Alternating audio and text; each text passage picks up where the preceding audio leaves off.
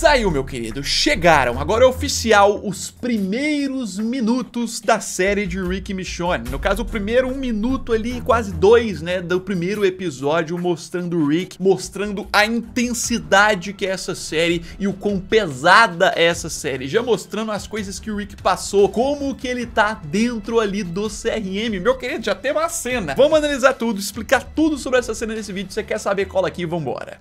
Fala, povo bonito que assiste esse canal lindo chamado Gente Faz Agora. Tudo bom com você que tá assistindo? Tô bem demais e assim, muito empolgado, porque finalmente a gente pode falar pelo menos do, do primeiro minuto, pelo menos do início aqui, né? De The Walking Dead The Ones Who Live. Eu sou o João Vitor, né? Pra você que não conhece. Vamos analisar isso aqui em detalhes, mas antes de começar, eu quero falar que ainda dá tempo, meu querido. Você que quer garantir sua réplica em tamanho real do revólver do Rick, a réplica decorativa aí, né? Feita em 3D pelo pessoal da Paradigma 3D. Ainda dá tempo de você se juntar ao grupo para receber o link para você comprar a sua, né? Na segunda-feira, dia 26, a gente vai fazer uma live comentando o primeiro episódio inteiro e também vamos liberar o estoque, né? Os pedidos pro drop, o melhor item colecionável aí que você vai poder ter de The Walking Dead. Se você tem interesse, cola no primeiro link que tá embaixo na descrição e se junta ao nosso grupo.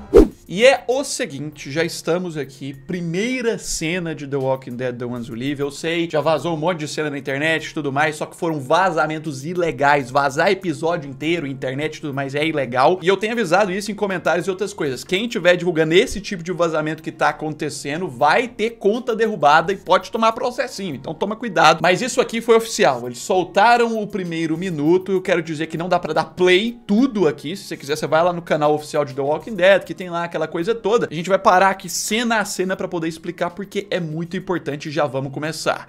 I tried. Ó, já começa aí, ó. Rickzão falando. I tried.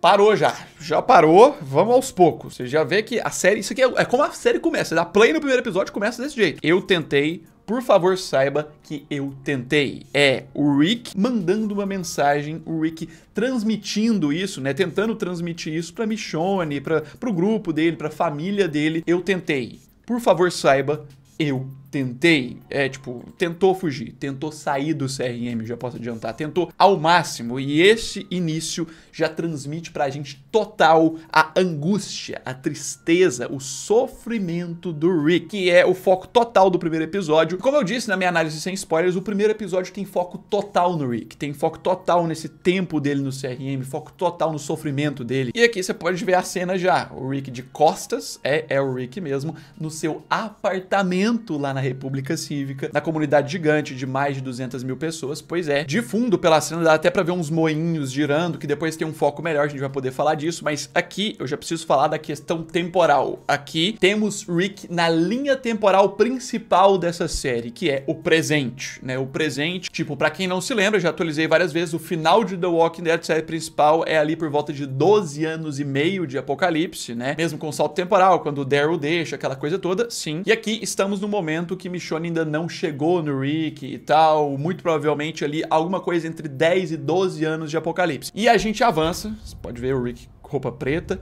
e um barulho de televisão.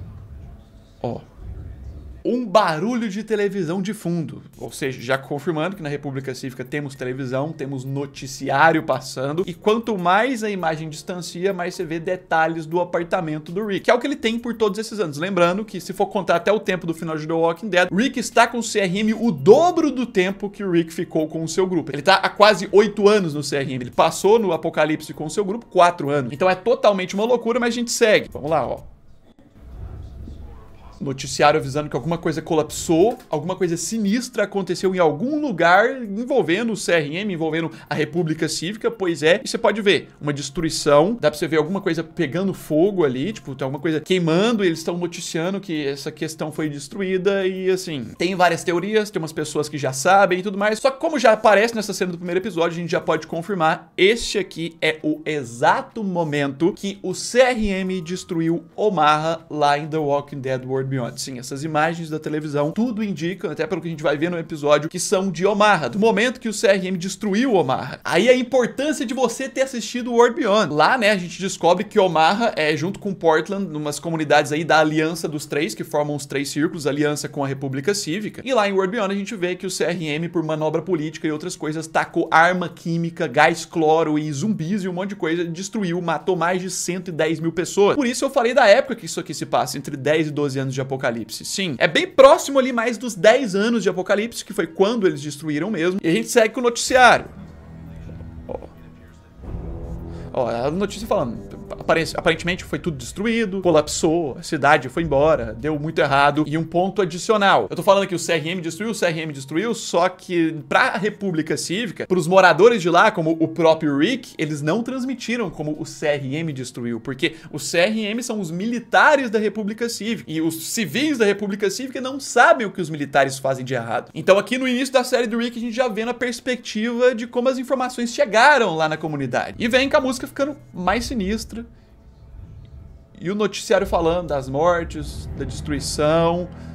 E aí aqui, né, a cena clássica que a gente viu nos trailers, viu nos teasers e tal, Rick aí com seu celularzinho com o rosto da Michonne, que comprova um ponto. Esse desenho aqui, como a gente tinha falado antes, é bem diferente do desenho que a Michonne achou na tela do celular lá no episódio de despedida dela, quando ela acha as pistas do Rick. No caso, a explicação para isso é que esse celularzinho que a Michonne tá carregando, a pista que ele deixou para ela, era uma das lembranças que ele ficava carregando sobre a Michonne lá nos primeiros anos que ele tava no CRM, que numa das tentativas de fuga, ele jogou no barco para que a Michonne achasse. Agora, aqui anos depois, ele mandou fazer um outro celular com esse desenho aí para ter mais lembranças, o que mostra que mesmo ali, são 10 anos de Apocalipse, então uns 6 anos, né, depois que ele tá nesse grupo, mesmo ali, ele ainda é motivado a encontrar a Michonne, ele ainda sente falta. Ó, você pode ver ele chorando aqui, sofrimento, continua a cena, intensidade do sofrimento do cara.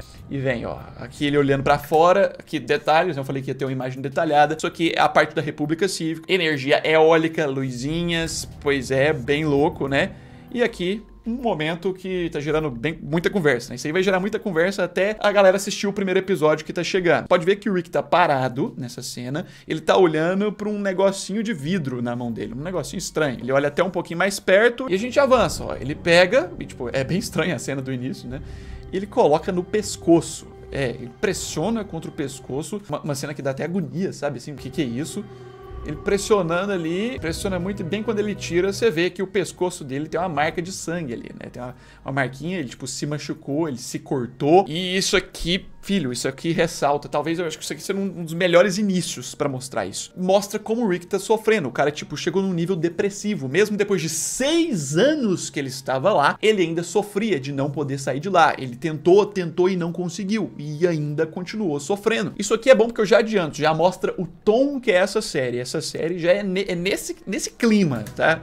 Já é, é bem sinistra, ó. Ele olhando ali, olho escorrendo. E, filho, ó, a cena meio que termina por aí, né? Tipo, essa é a, seria a cena de abertura. Só que, tipo, depois, durante o episódio, durante o avanço do episódio, eu posso adiantar que eles vão desenvolvendo. Eles vão e voltam no tempo. Isso aqui é meio que o presente da série. Depois disso aqui, a gente já vai avançar pra um flashback de um tempo lá mais atrás, anos antes. Vai, volta pra explicar coisas e é um episódio que funciona com uma estrutura sinistra. Se você viu minha análise do episódio sem spoilers, você vai entender um pouquinho mais. Mas agora, assim, né? Podendo falar do primeiro minuto, você já pode pode ver o tanto de referência, porque a série é sobre o Rick, o primeiro episódio é sobre o Rick, é sobre o sofrimento dele, mas ainda assim, já tem a, no primeiro minutinho já tem a, introdução do negócio, é sobre o Omaha lá. O Rick aqui ainda não sabe. Tipo, em World Beyond é mostrado que o CRM fez um pronunciamento falando que foi uma horda de zumbis que destruiu, que tá perigoso, e por isso eles precisam continuar no poder da República Cívica, uma manobra política. Olha a complexidade do negócio. Além dele tá sofrendo, ainda no meio do caminho vai ter que descobrir sobre essa falcatrua do CRM, vai ter que descobrir sobre esse problema. A gente vai ter muita exploração disso no primeiro episódio. Rapaz, eu mesmo tendo visto o episódio, como saiu os primeiros minutos, eu vendo isso aqui de novo já me empolga num nível sinistro. Porque essa aqui é a melhor dessas séries de spin-off de The Walking Dead de longe e vai render coisa demais. Então você fica ligado no canal, comente aí o que você achou desses primeiros minutos, deixa esse like, se inscreva aí, não, não deixa de ativar a notificação que esse final de semana ainda vai ter muito vídeo, loucura. No mais é isso aí, já já eu tô de volta. Um abraço, fui!